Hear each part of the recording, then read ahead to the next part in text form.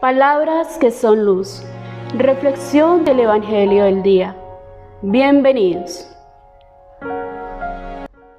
Saludo de paz y bien, queridos hermanos, en este día martes en el que continuamos en esta maravillosa celebración de la Semana por la Paz. Ya el Evangelio que nos presenta San Lucas en el capítulo sexto para este día, eh, presenta una actitud importante en Jesús y es la actitud de la oración en el diálogo con el Padre para tomar una decisión fundamental. Y era precisamente la elección de los doce apóstoles.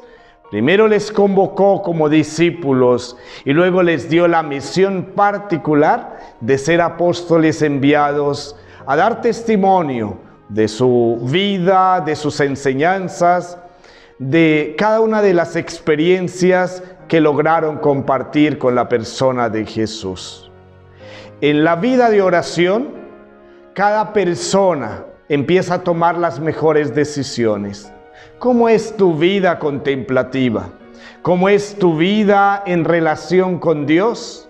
Realmente lo que haces, tu trabajo, las relaciones interpersonales, incluso las decisiones que tomas en tu vida, ¿las haces, en actitud de oración? ¿O simplemente por lo que va viniendo con las circunstancias que a diario se presentan? Hoy toma la mejor decisión. Ora más, contempla más con la palabra de Dios y así sufrirás menos, así tendrás una vida más tranquila y la obra, la misericordia de Dios se hará efectiva en tu vida. Solo así podrás recuperar la paz en tu mente y en tu corazón. El Señor te asista y te acompañe durante esta jornada. En el nombre del Padre y del Hijo y del Espíritu Santo. Amén.